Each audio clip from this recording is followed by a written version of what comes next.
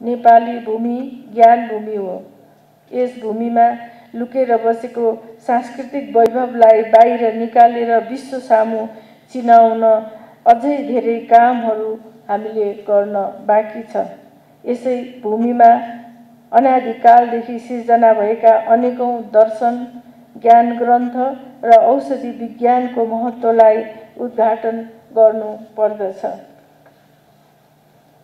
नेपाली समाजमा युगौँदेखि जीवित रहँदै आएका लोक साहित्य एवं साहित्यिक निधिहरूलाई सङ्कलन गरेर बाहिर ल्याउनु पर्ने छ र नेपाली सिर्जनाहरू पनि विश्व साहित्यको उत्कृष्ट कोटिमा पर्न सक्छन् भन्ने कुरालाई अनुवाद मार्फत विश्व सामु पुर्याएर प्रमाणित गर्नु पर्नेछ।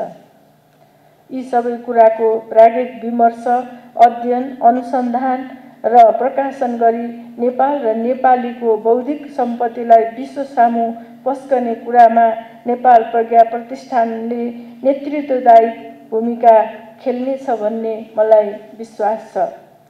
आजको सम्मान तथा पुरस्कार वितरण समारोहलाई मैले अग्रज पुस्तालाई सम्मान र अनुज पुस्तालाई प्रोत्साहन गर्ने हाम्रो परम्पराकै निरन्तरताका रूपमा लिएको छु।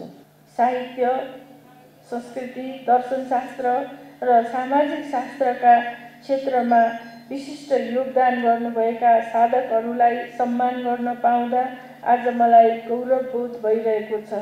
यसका साथै राष्ट्रिय कविता महोत्सव दुई हजार उनासीका विजयी कविहरूलाई पुरस्कृत गरिनु पनि प्रसन्नताको विषय हो। यसले एकातिर अन्तर्पुस्तागत सम्बन्धलाई स्थापना गर्ने काम गरेको छ भने अर्कातिर नयाँ पुस्तालाई सिर्जना कर्ममा समर्पित हुने थप प्रेरणा पनि प्रदान गरेको छ।